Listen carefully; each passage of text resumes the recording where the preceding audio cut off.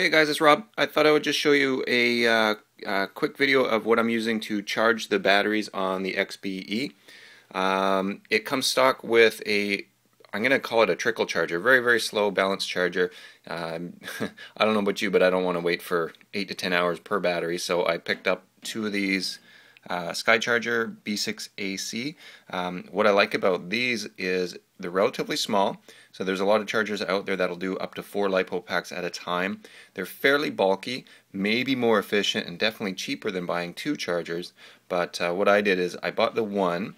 Um, worked out fine, but uh, what I had to do is wait for two hours for the battery to charge. It takes upwards of an hour per charge. Now that I have two chargers, I can charge two packs simultaneously. It takes an hour um, to do the both packs, and because I have two sets of batteries, I can kind of cycle the buggy through a couple of packs, and then that's usually enough for me for a day. Um, so yeah, that's what I'm doing. A great little charger. I got them from HobbyPartz. I think around. I think they were 60 bucks, 57, 45, I can't remember, somewhere around there. Uh, charges up to 5 amps. Uh, I don't think they're the best charger in the world, but you know what? For me, they're they're great and portable. AC and DC. I can plug it in here in the in the house, or I can take it out in the field and just take one or possibly both of them with me if need be. All right, guys. Hopefully you found that interesting, and I'll talk to you soon.